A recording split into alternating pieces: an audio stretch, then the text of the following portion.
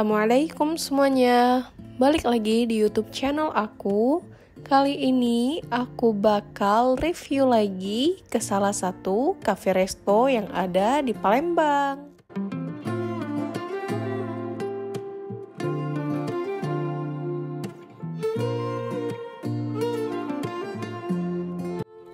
Jaraknya nggak terlalu jauh dari rumahku, sekitar 10-15 menit aja udah bisa nongkrong di cafe resto ini.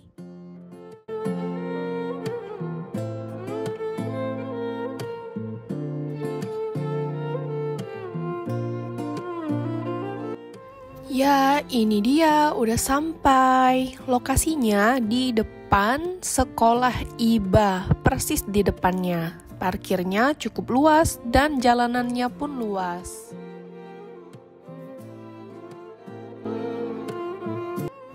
Udah sampai di Foodpedia.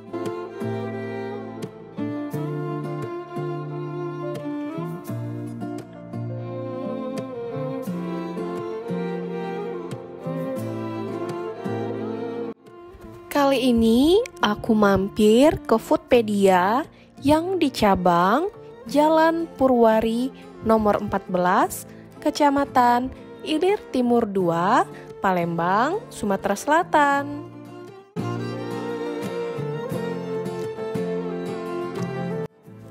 Setahu aku, masih ada beberapa cabang Foodpedia yang ada di kota Palembang ini. Salah satunya ada di PTC Mall, dan juga ada di Jalan Jenderal Sudirman.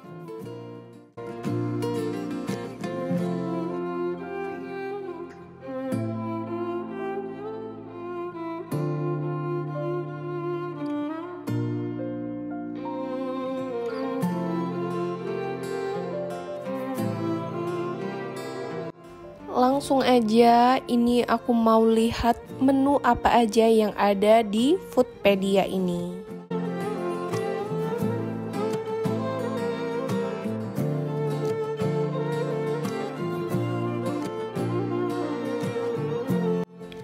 Untuk pilihan menu makanan dan juga minuman di Foodpedia ini menurutku cukup banyak pilihan.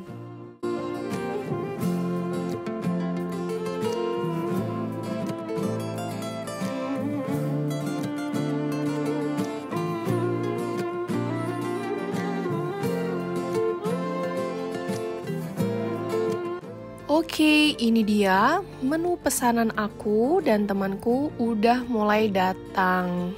Yang pertama yang diantar sama mbaknya ini itu ada nachos bolognese, terus kentang goreng.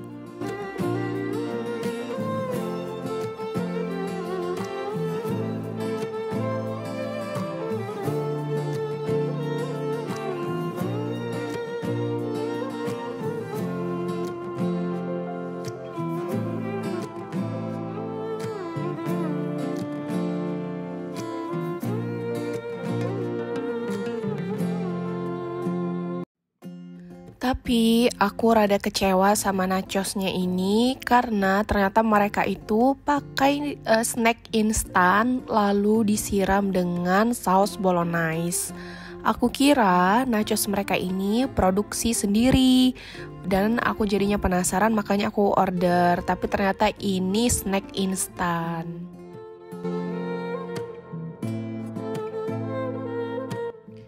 Kalau untuk rasa nggak usah ditanya lagi karena yang namanya snack instan pasti bumbunya udah pas, gurihnya, penyedap rasa dan segala macamnya itu udah pas.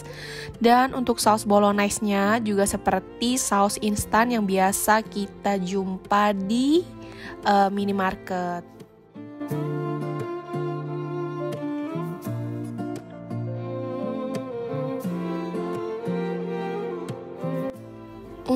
Es krim vanilanya, satu cup begini itu harganya 12.000.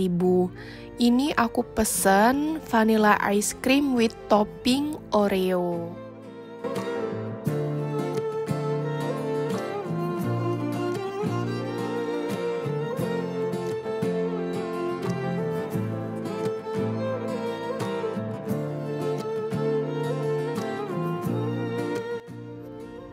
Untuk nachos bolognese-nya ini harganya 23.000. Untuk porsinya menurutku nggak terlalu banyak dan saus bolognese-nya pun uh, nggak mengcover semua nachosnya karena hanya dituang di atas.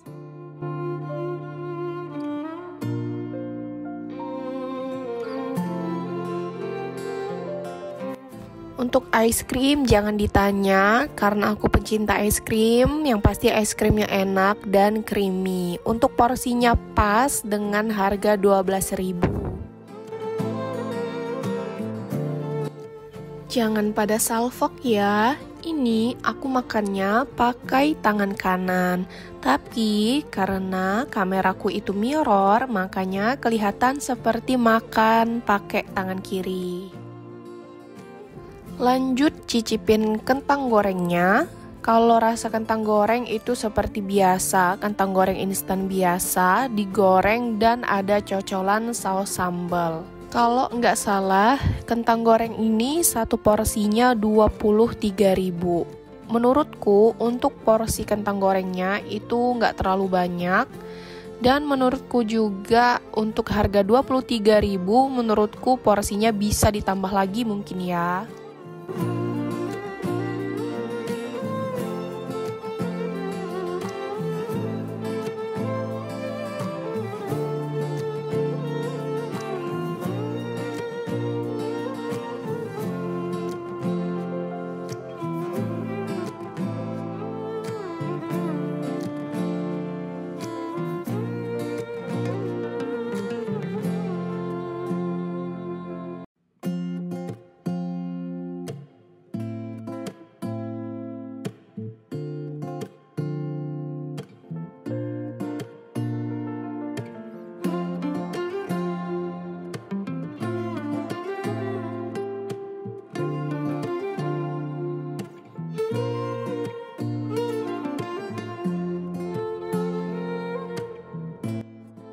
Di Foodpedia ini, mereka juga menyediakan live music. Tapi pada saat aku datang di pagi ini, live musicnya itu belum ada. Nah, ruangan ini ternyata ini tuh ruangan smoking area, tapi aku baru tahu nih smoking areanya pun itu ternyata pakai AC.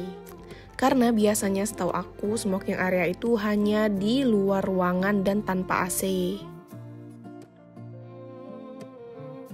Jangan khawatir buat kalian yang muslim kalau mau sholat di sini mereka menyediakan fasilitas musola dan juga tempat wudhu. Jadi buat kalian yang mau ngerjain tugas di sini atau nongkrong dengan waktu yang cukup lama, nggak perlu khawatir untuk sholat karena mereka menyediakan fasilitas untuk sholat dan juga tempat wudhu.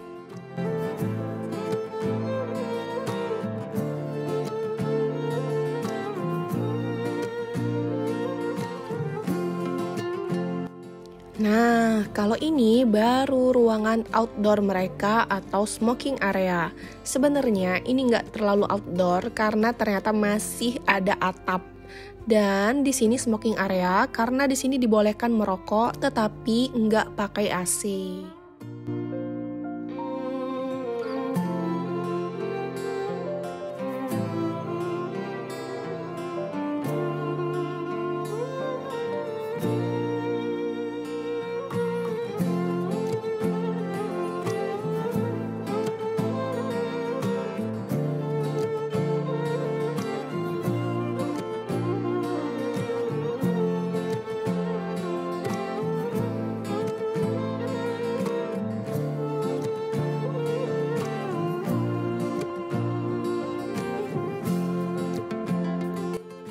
Mereka juga punya VIP room dan ini dia VIP roomnya. Sebenarnya VIP room ini bisa digunakan oleh siapa pun tanpa harus reservasi minimal belanja itu nggak ada. Tapi yang penting kalian konfirmasi sama pelayannya. Selagi belum ada yang pakai, kalian bisa gunakan ruangan VIP ini.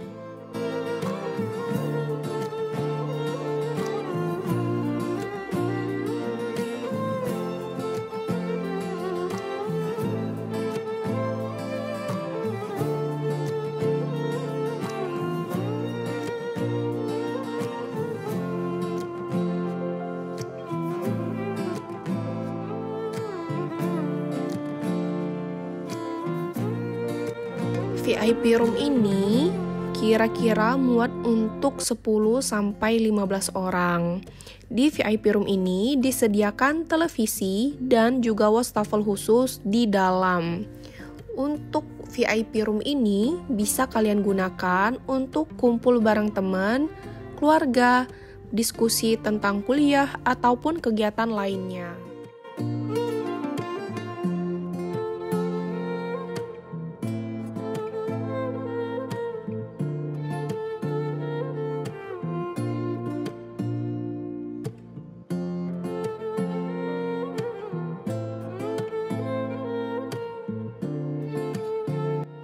Nah, kalau ini itu nasi uduk Foodpedia. Ini temanku pesan. Jadi isi nasi uduknya itu ada telur ceplok, bihun, terus ada telur dadar yang dipotong-potong, terus ada tahu goreng, lalu ada sambal tempe. Untuk lalapannya ada tomat dan juga timun.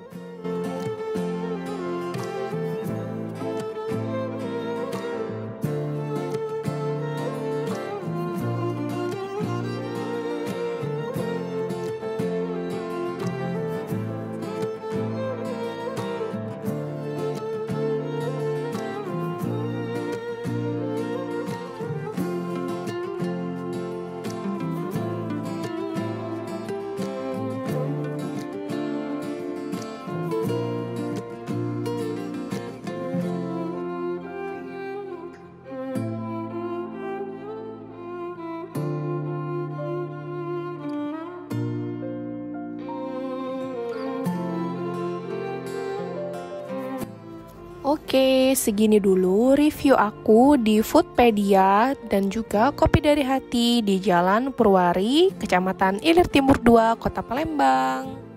Semoga videonya bermanfaat dan menghibur kalian. Jangan lupa like, komen, dan subscribe. Terima kasih.